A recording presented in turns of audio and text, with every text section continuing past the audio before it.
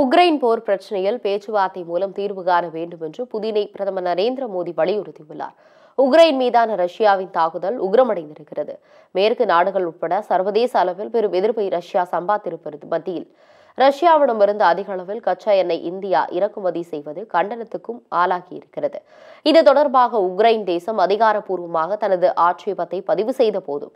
India தன்னுடைய முடிவிலிருந்து மாறவில்லை அதேபோல உக்ரைன் மீதான ரஷ்யாவின் தாக்குதலுக்கு எதிரான இந்தியா திடமான நிலைப்பாடு எடுக்க வேண்டும் என வலியுறுத்தப்பட்டு வருகிறது இந்நிலையில் பிரதமர் நரேந்திர மோடி ரஷ்ய அதிபர் புதினுடன் தொலைபேசியில் சில மணி நேரங்கள் உரையாடினார் இந்த உரையாடலின் போது புதினிடம் உக்ரைனில் நடைபெற்று வரும் மோதல் சூழ்நிலையில் வன்முறைகளையும் நிறுத்திவிட்டு பேச்சுவார்த்தை மற்றும் ராஜதந்திரத்திற்கான பாதையில் செல்ல அழைப்பதாக மோடி தனது கருத்தை முன்வைத்துள்ளார்